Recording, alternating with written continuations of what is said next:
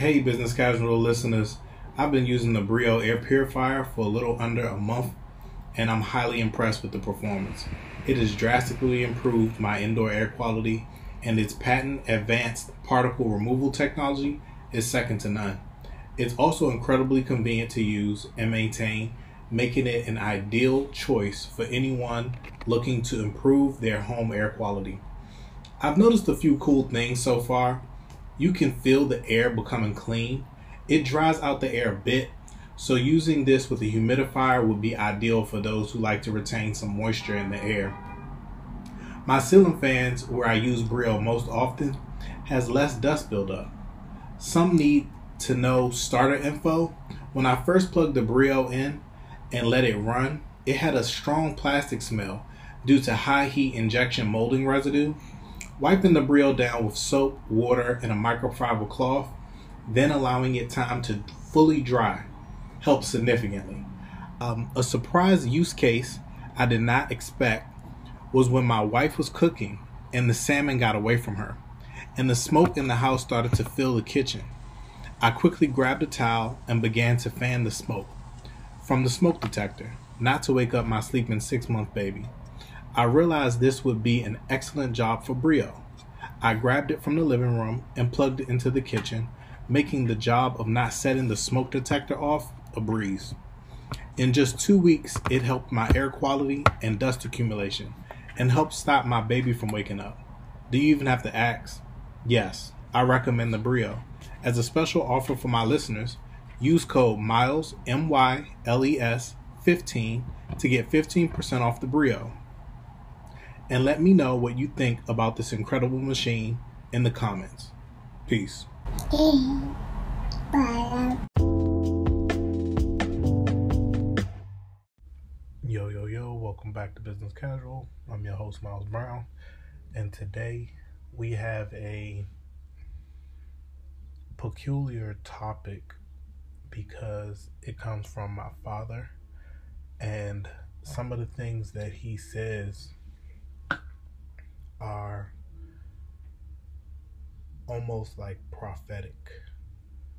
You know, the father can speak into the son's life and actually change their destiny.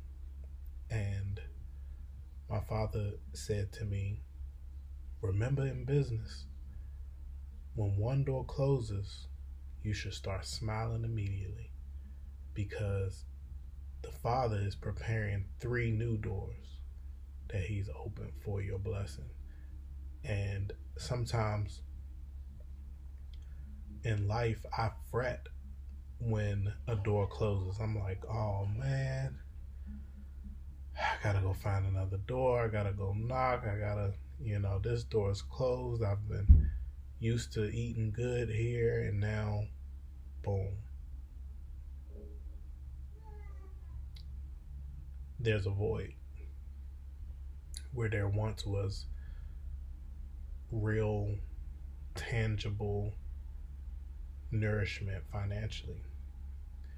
And what that should do when my father says, when one door closes, three doors are being opened.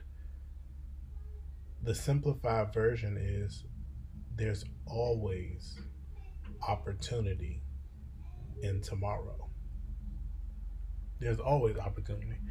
So many things converge each day because of the handiwork of the Father, even in a fallen state that we live in here on earth um, with the system being run by the devil. Our Father in heaven is so powerful that there are abundant opportunities for His chosen people, people who live purpose driven lives, who are not out here wasting time, not caught up in foolish babbling, not caught up in gossip and hearsay. People that truly want to understand what they need to do here on earth to please the Father. There will always, always, always be many opportunities for people like that. And the devil, his whole job is to send demons to mess with you enough to where you forget that the opportunity are multiplying in front of you. They're not dividing. They're not subtracting. And if these things are happening, then that's a presence of a demonic entity because the harvest that the Lord has blessed you with can become a part of the devourer because he comes to kill, steal, and destroy. so when the Lord plants this beautiful garden in front of you and the har- the harvest is ready to come up, the devourer comes in to seek what he may destroy. Now, you being the farmer may not have seen the harvest come in overnight. You may have seen it come in over months, years, however long your blooming process is financially in your business. But if you don't make decisions based on godly principles, what looks like a shortcut and good money today will turn into an absolute pain and nightmare later on. Um, businesses are meant to be up and down, and not taking time in your down season to properly rest, reevaluate, and then go back at it and attack it becomes really rough even when the good times are here not to be scared and panicked of the bad times or the closed door but the closed door has three opportunities being open spiritually just as something with like we don't even know how many doors truly are being opened for us we're just saying three because the Father, the Son, the Holy Ghost. They all want something amazing for us. So we just use three symbolically. But the blessings that will reign forevermore is eternal. And right now we're living a very morbid life. Like this life that we know it right now will end. One day we'll be in the grave.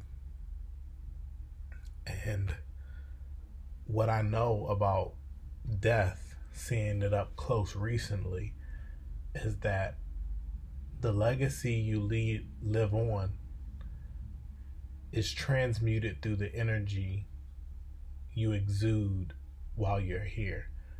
We have a life force and a life energy that is either tapped into a pure source or tapped into a dark source um, what we're seeing in the media, we're seeing the dark source mostly. dark. But what we see around us and our in people who live their life out in front of us, there are many sources of light where we know the intentions were good, the opportunities were, were pure. We seen the Father move heaven and earth for this person while they were here. And these should be a faith driver to allow you to know that finances are the least worries to the Most High. They're big to us because we're going through it and we spend money on things. And the Bible says money cures all answers or whatever here on earth. But there are eternal consequences where we won't even think about money. Where the, the true thought will be what mindset was I in while living? Was it faith? Did I have faith? Did I have resolve? Was I walking in humility and mercy? Was I treating my fellow man ethically and morally and what was my impact on the earth did i get greedy at gain and polluted at the expense. Like the Lord doesn't seek that things are destroyed. He get, he left enough here for us to figure it out um, in a way that wouldn't destroy this place. But um,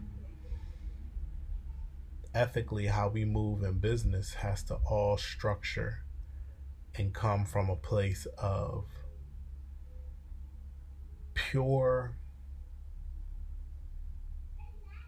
understanding that when you resonate with the Father, your energy is pure and your energy has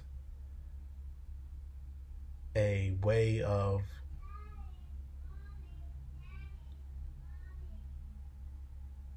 it has a way of resonating, transmuting whatever you may think you're going through at the time. Give it back to the Father. Understand that we only have a short time in this mortal life. Seems longer than what it really is at times, and it seems short at others. That's how I know time isn't really real. We're in a simulation of what eternity will be like. Whose side are you going to pick? Darkness? And we know what darkness looks like here in this realm, or light. Infinite opportunities and possibilities are in the light darkness comes with great gain, but there's no growth to it. It's dead. So you're not really gaining because what you give up to get it, to obtain costs you infinitely more in a currency that you can't understand currently. It's like trying to explain Bitcoin to somebody uh, in the early like 70s or 80s. It just be for the average person. They, I don't understand. I don't what why, why this. And our eternal bank accounts have goodwill and cheer for how much we allowed the Father to flow through us here in this realm on earth. Thank you guys for listening. Until next time, remember my father saying, when one door closes, three doors are opening. Peace.